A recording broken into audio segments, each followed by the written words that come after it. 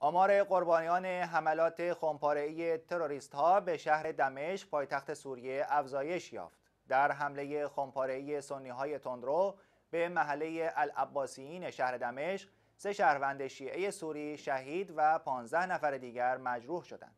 همچنین حمله خمپاره‌ای به محله جرمانا در شهر دمشق تعدادی زخمی بر جا گذاشت.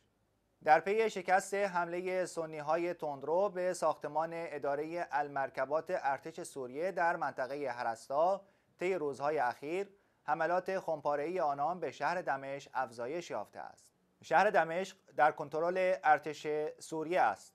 اما عناصر تروریست ها هنوز در بخش های از حومه شرقی پایتخت سوریه حضور دارند.